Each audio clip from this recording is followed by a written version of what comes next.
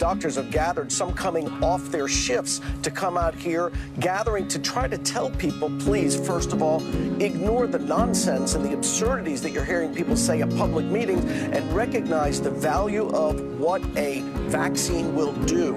Uh, 85% of the ICU beds in Florida are full.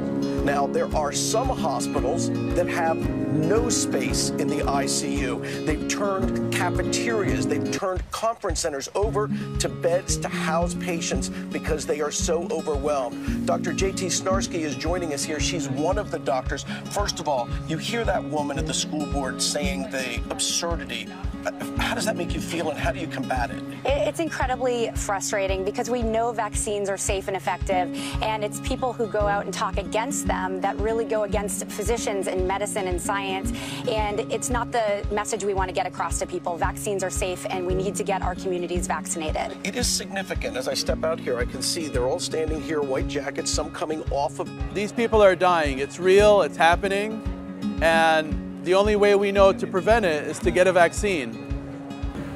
We are exhausted. Our patients and resources are running low, and we need your help. Doctors saying they are frustrated, they are overwhelmed, they are exhausted, and their resources are running low. We're told the situation is much worse now than it was at the beginning of the pandemic. More children are also being hospitalized as the Delta variant continues to spread, infecting more younger people.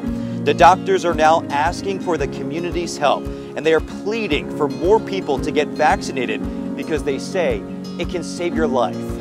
This time around, this variant is deadlier, it is impacting the lungs quicker, it's eating away at the lungs, it's causing more problems, it's causing pneumomediastinum, it's causing pneumothoraces, and the patients are dying quicker. I recommend take the vaccines. I did it. It's good. Take the vaccines. But you got, no, that's okay. That's all right. You got your freedoms. But I happen to take the vaccine.